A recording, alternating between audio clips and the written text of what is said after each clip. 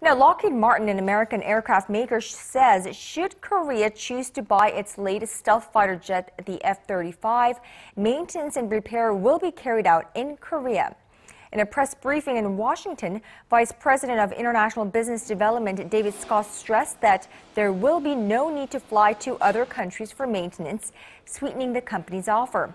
Well, he also laid out plans to help Korea's KF-X project, which is the nation's next generation fighter jet development project, by dispatching experienced U.S. professionals.